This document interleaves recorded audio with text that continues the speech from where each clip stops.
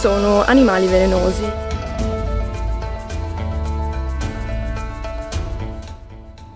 Io sono Giulia e normalmente vivo sulla mia barca a vela, ma in queste settimane sto esplorando l'Ecuador con uno zaino in spalla. Iscrivetevi al canale e unitevi al viaggio. Nell'episodio precedente ci siamo immersi nella natura incontaminata delle Galapagos. Oggi lasciamo tartarughe e leoni marini e ci avventuriamo nella foresta amazzonica, in una lotta per la sopravvivenza. Ciao amici, oggi vi do il benvenuto dall'Amazzonia, nel cuore della foresta pluviale sudamericana. Sono arrivata oggi e sono circondata dalla giungla e dalla natura e questo qui è il lodge in cui passerò i prossimi 5 giorni, sarà la mia casa. Sono davvero entusiasta perché è la prima volta che mi trovo nella giungla e non vedo l'ora di vedere, di esplorare questo ambiente, di vedere che vegetazione c'è e soprattutto quali animali ci sono e magari vincerò anche qualche piccola fobia di insetti, ragni e serpenti, coccodrilli. Vedremo come ne uscirò. Ma facciamo un passo indietro, perché arrivare alla mia casa nella giungla è stata già di per sé un'avventura. Siamo partiti da Quito a mezzanotte per affrontare un viaggio di oltre 13 ore a bordo di un autobus verso la riserva naturale del Cuyabeno, parte dell'Amazzonia. Dopo una notte interminabile, durante la quale fuori dal finestrino la civiltà ha lasciato spazio alla natura, siamo arrivati a Ponte Cuyabeno, punto oltre il quale non vi erano più strade. L'unico modo per proseguire verso il cuore della giungla era a bordo di una canoa, navigando tra la vegetazione nell'intricato labirinto di corsi d'acqua. Credo che alcune particolari emozioni si possano provare solo un numero limitato di volte nella vita. Così è l'emozione di vedere per la prima volta il mare, o la neve cadere dal cielo, la lava uscire da un vulcano, o un essere vivente nascere o morire. Si tratta di uno shock, della meraviglia di scorgere un nuovo volto della natura che prima non conoscevamo. Lì, su quella canoa, ho sentito esplodere dentro di me un'emozione preservata per ben 28 anni, qualcosa che non potrò mai più provare nella mia vita, l'emozione di vedere la giungla per la prima volta.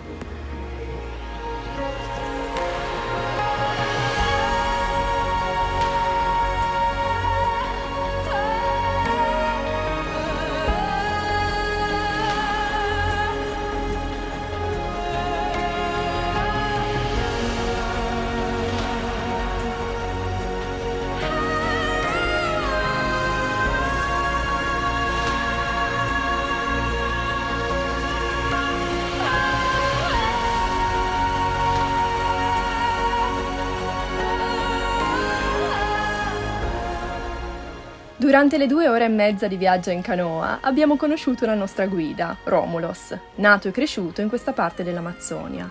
Fin dai primi minuti, Romulos ha condiviso con noi la sua profonda conoscenza della giungla, indicandoci animali misteriosi nascosti e mimetizzati dalla vegetazione, che io mai sarei riuscita a scovare da sola. I miei occhi, che prima d'allora avevano solo visto la giungla cittadina, non distinguevano nulla in quel groviglio verde e il mio dito non riusciva a discernere alcun suono in quel brusio assordante.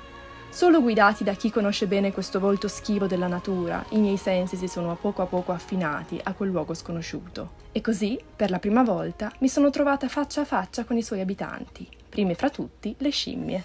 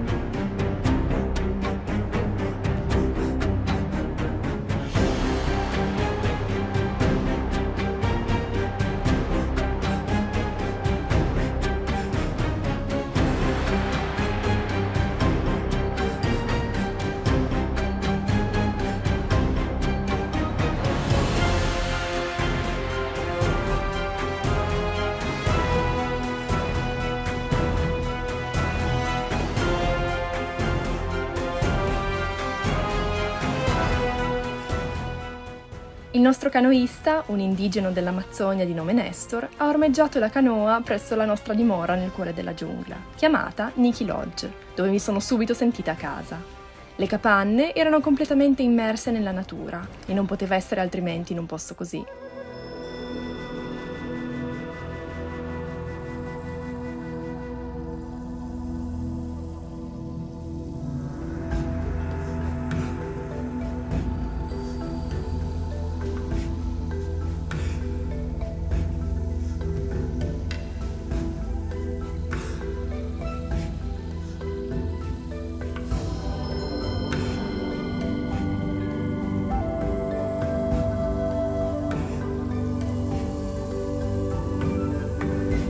Cibo tipico era delizioso, lo staff epico e le attività di esplorazione molto interessanti. Vi racconto qualcosa in più sulla vita nella giungla. Queste stanze, casette, sono sopraelevate rispetto al terreno e sono coperte da questo tetto bellissimo, sono tutte fatte di legno ehm, e non hanno muri, hanno soltanto una rete per gli insetti che in realtà non va neanche fino su al tetto, quindi gli insetti possono entrare. Quindi la prima regola nella giungla è non spaventarsi se si vedono degli insetti. Ci sono sono alcuni ragni, alcuni insetti ai quali fare attenzione, ma a parte quelli gli altri devono semplicemente essere lasciati stare. Però per evitare che insetti e ragni ci si avvicinino durante la notte abbiamo una rete che copre tutto il letto e nella quale possiamo dormire tranquilli senza paura e senza doverci grattare, uccidere zanzare tutto il tempo. Bisogna stare attenti alle punture di zanzare perché possono portare malattie come malaria o febbre gialla, anche se in questa zona mm, ci hanno detto che il rischio è molto molto basso, però bisogna sempre stare attenti. Se vi state chiedendo perché è un pochino buio, lo vedrete nei video, è perché non utilizziamo l'elettricità. Questo lodge, come tutti i lodge, non è collegato alla linea elettrica eh, dell'Ecuador, ma c'è semplicemente un generatore che produce l'elettricità necessaria per la vita nel lodge e possiamo utilizzare l'elettricità soltanto dalle 6 alle 10 di sera e comunque con moderazione. Ed è per questo che mi sto abituando a vedere un po' di più al buio. Anche stamattina, stanotte, non ho utilizzato la luce, avevo la lucina che mi avete visto utilizzare in barca, quella rossa, ma per il resto niente elettricità. Una cosa molto importante quando si cammina, si gira per la giungla è guardare sempre cosa si tocca e dove si mettono i piedi, perché ci sono animali velenosi, eh, tra cui serpenti e alcuni ragni come the banana spider, il ragno delle banane. Vi mostrerò alcuni di questi animali se li vedo, ma comunque quando ci addentriamo più nella giungla mettiamo gli stivali di gomma e anche quando camminiamo qui comunque comunque dobbiamo stare attenti a dove mettiamo i piedi. Ma adesso mi preparo perché stiamo per andare a fare una camminata nella giungla, un po' di trekking e mi metto eh, mosquito repellent, quindi l'antizanzare, l'antinsetti, eh, vestiti a maniche lunghe, pantaloni lunghi e gli stivali di gomma.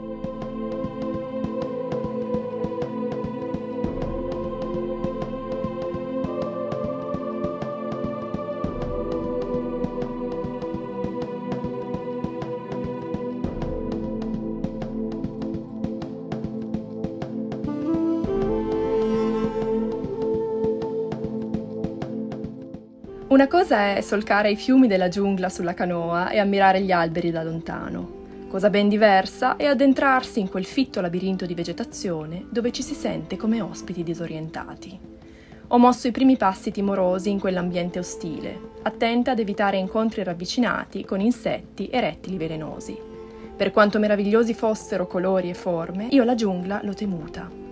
È il luogo del pericolo, non ci sono ospedali e per raggiungere il centro medico più vicino bisogna viaggiare per ore in canoa, prima ancora di poter chiamare un'ambulanza. Sono certa che non sarei sopravvissuta a lungo senza gli ammonimenti della mia guida. Sopravvivere nella giungla non è cosa facile e solo chi c'è nato può dire di comprendere veramente questo ambiente.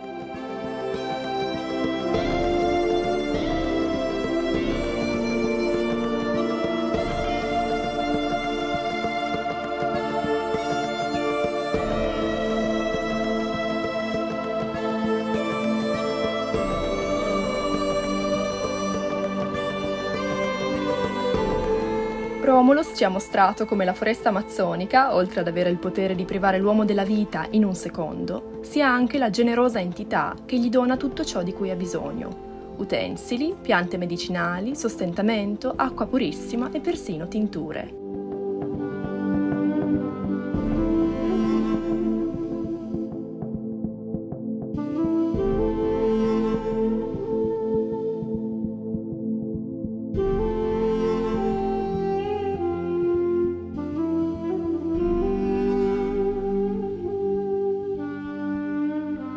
Quelli che sto mangiando sono formiche. Sanno di limone. Non sto scherzando, sanno davvero di limone. Sono appena uscita dalla doccia e sono stata sorpresa da un pipistrello che volava in giro nel bagno e nella stanza e adesso si è nascosto da qualche parte, spero non nel mio zaino eh, o nel letto. Non so dove sia, vedremo se uscirà fuori stanotte e inizierà a volare per la stanza. Abbiamo cenato, il cibo era delizioso, veramente molto buono e adesso andiamo a fare una camminata notturna nella giungla. Um, se la giungla fa paura e è pericolosa di giorno non oso immaginare di notte, ma è solo di notte che si riescono a vedere alcune specie di insetti, ragni e serpenti e altri animali notturni, quindi vediamo un po', vedremo se sopravviveremo.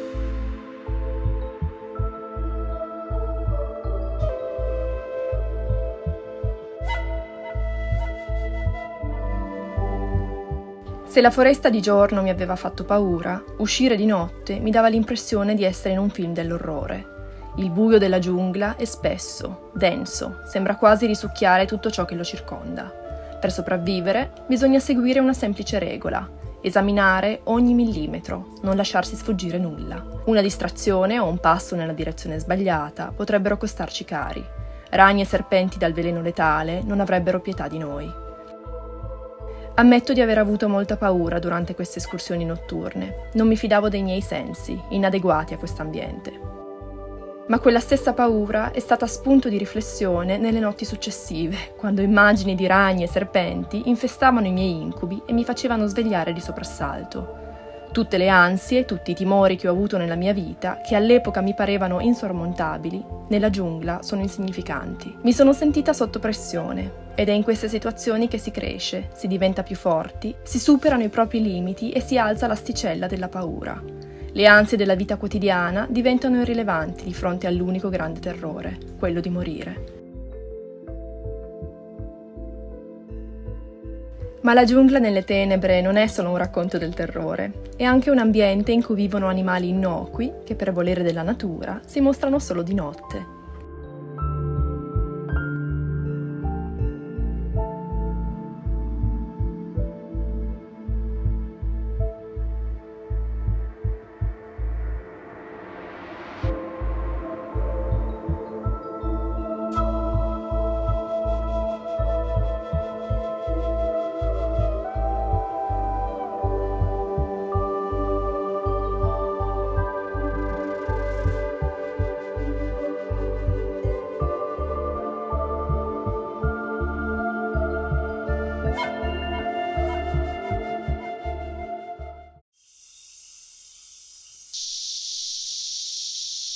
Amici, oggi vi porto con me in una nuova avventura. Scusate il rumore degli insetti, ma sono cicale e la giungla è molto rumorosa.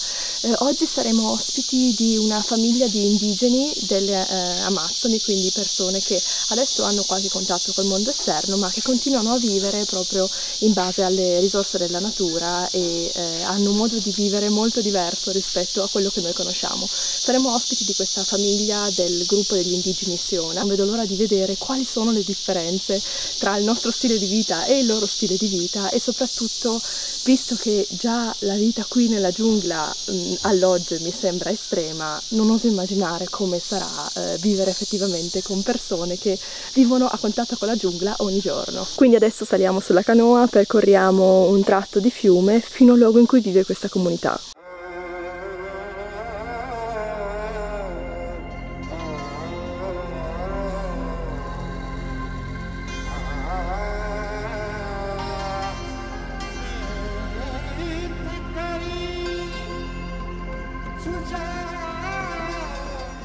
Mentre navigavamo lungo il fiume, la pioggia torrenziale ci ha avvolti.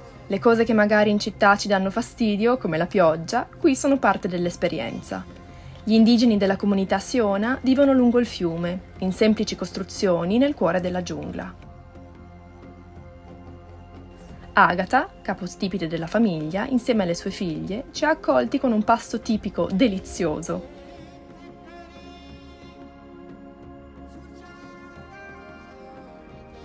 Dopo esserci presentati ed aver imparato qualche parola nel linguaggio Siona, siamo usciti fuori sotto la pioggia per vedere il resto della comunità. Gli indigeni vivono a stretto contatto con la natura. Sono gli unici ad avere il diritto di utilizzare le risorse della natura. Nessun altro, neppure i gestori dei lodge, possono tagliare alberi, pescare o cacciare nella giungla. Gli indigeni traggono dalla natura solo le risorse necessarie per il proprio sostentamento e contribuiscono alla salvaguardia della foresta.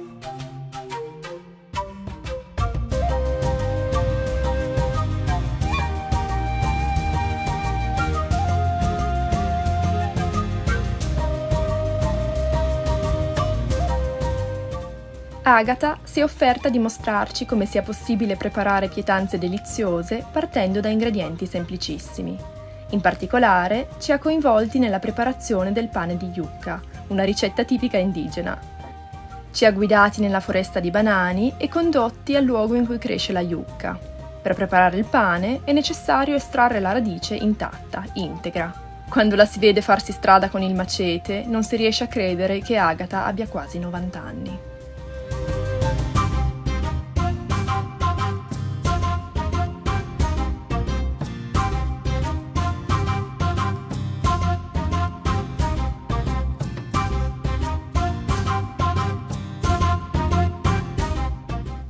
Dopo aver pulito le radici di yucca, le abbiamo grattugiate. Poi Agatha e sua figlia hanno sistemato la yucca in una grossa treccia di fibra vegetale e l'hanno strizzata, rimuovendo tutta l'acqua e ottenendo così la farina di yucca.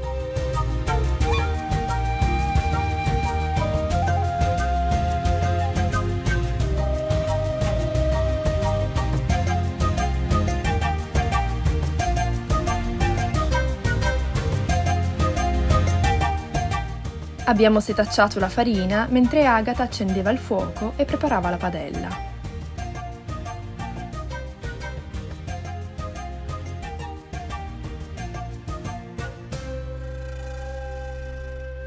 E quando tutto era pronto, siamo stati spettatori di una magia.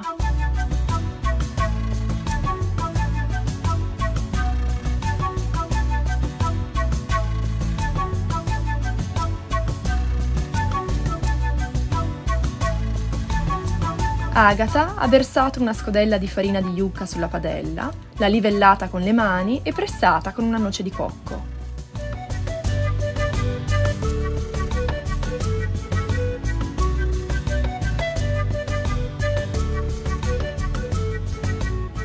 E dopo poco la yucca si è aggregata fino a formare un pane piatto, senza l'aggiunta di altri ingredienti.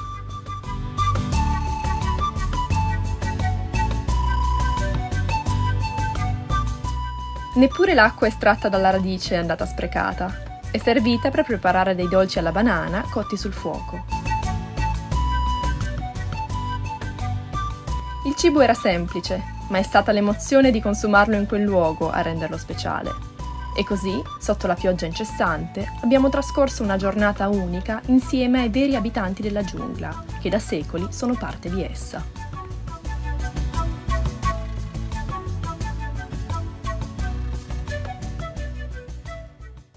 Stiamo per lasciare il lodge, prendere la canoa e andare ad esplorare un posto nuovo che è la laguna, la laguna grande, eh, che è appunto una laguna dove dovrebbero esserci, forse incontreremo i delfini, vediamo, delfini di fiume, pink dolphins, delfini rosa si chiamano, eh, e poi mh, mm, faremo una camminata sulla terraferma e arriveremo alla metà del mondo dove passa l'equatore.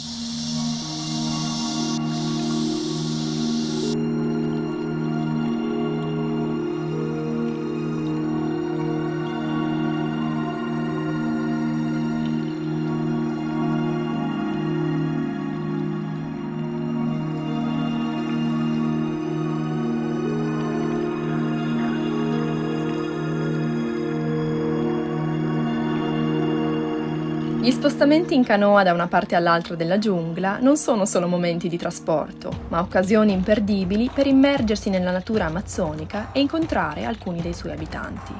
La nostra speranza era quella di scorgere i rarissimi delfini rosa, specie a rischio di estinzione che vive solo in quest'area dell'Amazzonia. In diverse occasioni abbiamo creduto di vederli, ma quasi sempre si è trattato di un falso allarme. Poi, come se ci stessero ascoltando, finalmente si sono mostrati a noi.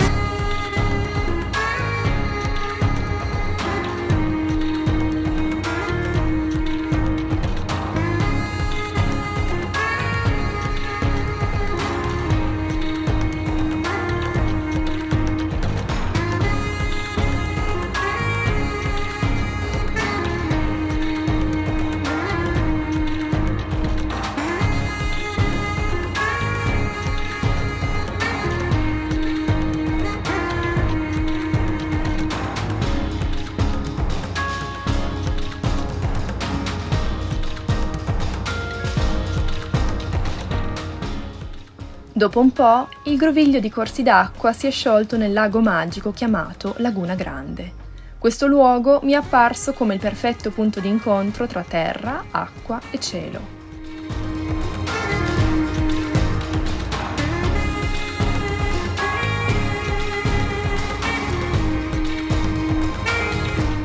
Prima abbiamo esplorato la terraferma, ci siamo fatti strada con attenzione tra foglie e liane fino a raggiungere la metà del mondo, il luogo in cui passa l'equatore.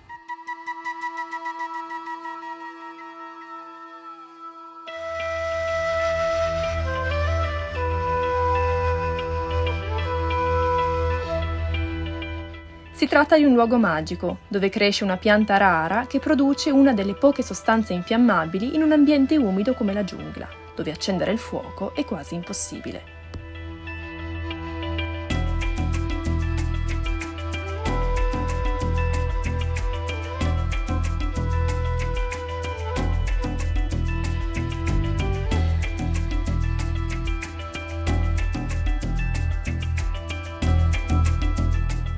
Lasciata la terraferma, ho esplorato la zona sommersa della laguna da sola, a bordo di un SAP.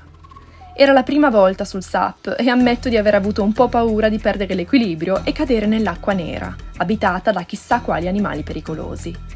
Ma con mia sorpresa sono riuscita a mantenere l'equilibrio e a godermi all'asciutto uno stupendo tramonto dipinto sul cielo.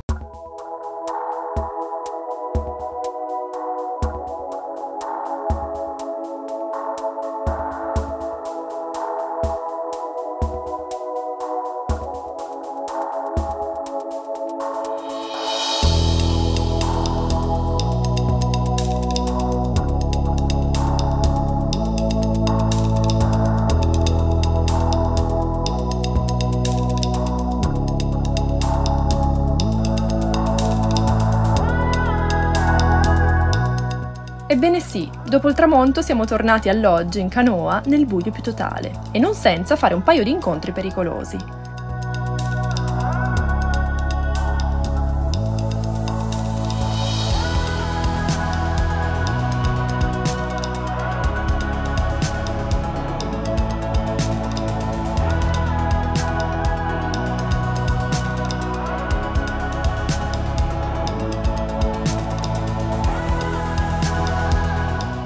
Ma il timore è sparito quando, tornati al lodge, i nostri amici locali hanno suonato e cantato per noi, rendendoci parte di una grande famiglia in mezzo alla giungla.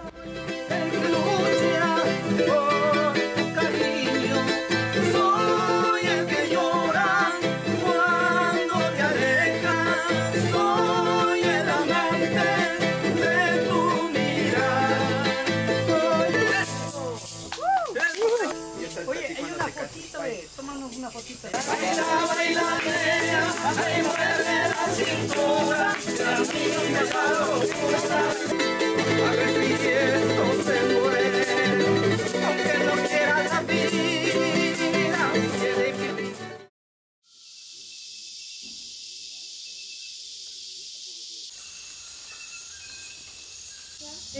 ho trascorso nella giungla sono state piene di attività nella natura, con un obiettivo principale, sopravvivere, e poi un obiettivo secondario, assorbire il più possibile di questo ambiente selvaggio, ricordandosi sempre di sopravvivere. Al mattino la sveglia era alle 5 e mezza e alle 6 si partiva in esplorazione per ammirare il risveglio della natura, anche se, a dire il vero, la giungla non dorme mai. Durante le nostre camminate mattutine ci siamo spesso trovati a fare i conti con la pioggia. Non peraltro si chiama foresta pluviale e noi l'abbiamo visitata proprio nella stagione più bagnata.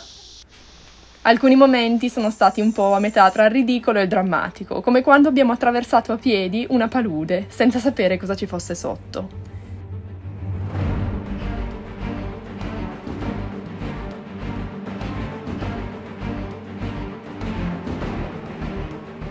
Credo che questi momenti in cui ho fatto quello che più mi faceva paura, camminare dove non sapevo cosa ci fosse sotto, siano stati i momenti del viaggio che mi hanno fatta diventare più forte.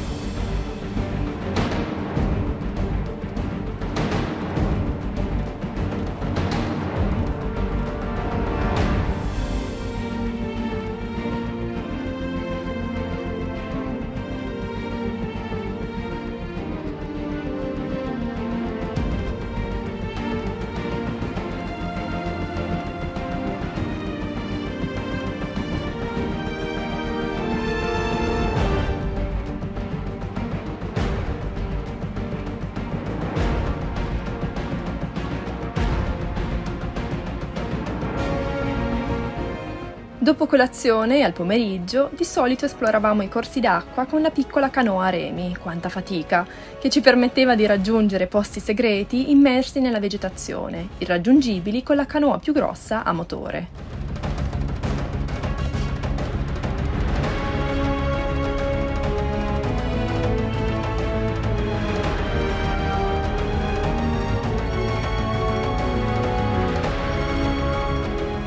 Un'esperienza memorabile è stata quella che ho fatto un pomeriggio con il SAP. Senza più timore di cadere nell'acqua nera e ormai in armonia con la giungla misteriosa, ho percorso diversi chilometri sospinta dalla corrente nel polmone del mondo, in sintonia anche con gli animali che lo abitano. Quella di essere ormai un tutt'uno con quella natura selvaggia che prima temevo è una sensazione che non dimenticherò mai non ho più paura di morire. Qui, nella giungla, vita e morte non esistono come concetti distinti. Vi è solo un flusso di energia che, continuo e ineludibile, travolge ogni essere, lo disgrega e dona nuova forma a ciascuna delle sue parti. Il ramo spezzato caduto nel fiume diventa dimora di piante e alghe. Ciò che un momento fa era un uccello è ora sostentamento per un rettile, che domani cesserà di vivere e sfamerà un'intera colonia di formiche. Come si può parlare di morte senza riconoscere che essa stessa è vita? La giungla ci mostra la verità che la nostra civiltà ci ha fatto dimenticare. Nella grandezza della natura, la parola morte non ha significato. Vi sono solo atomi che si aggregano in forme contingenti, di cui noi, esseri umani, non siamo che un piccolo esempio. Eppure noi vediamo nella giungla un ambiente ostile, pericoloso, inaccessibile, ci muoviamo quasi solo lungo i corsi d'acqua, su canoe che ci separano da tutte le creature che abitano quel liquido nero. Quando ci addentriamo nella terraferma, negli stretti varchi aperti a colpi di macete, quello che vediamo ci sconcerta. La giungla è un disordine che non capiamo. Tutti intorno a noi, per migliaia di chilometri, vi è solo lotta, una lotta incessante per la vita. Ogni pianta, ogni animale, ogni minuscolo organismo usa tutte le proprie energie nel tentativo di innalzarsi più in alto degli altri, per avere più aria, più spazio, più luce, per sopravvivere. La morte dell'uno è solo il rovescio della sopravvivenza dell'altro, solo un tassello nella vita dell'immenso organismo che è la giungla. Logico, no? E allora perché la giungla ci fa paura? Forse perché ci mostra in modo crudo e palese la dinamica della nostra vita, la giungla rende esplicita quella lotta che nella nostra società è solo implicita. Anche noi, come piante, alghe e animali, ci spintoniamo e ci strozziamo a vicenda pur di farci strada verso l'alto, pur di ricevere un po' più di luce. Solo che noi non lo ammettiamo, lo facciamo in modo subdolo. E allora quando siamo circondati da quel groviglio verde, lo temiamo, perché dentro ci vediamo una parte di noi stessi che aborriamo. Il nostro tempo di ospiti dell'Amazzonia sta per giungere al termine ma rimanete con me nel prossimo episodio, quando ci trasferiremo in una fattoria dell'Ecuador e vivremo in una casa sull'albero.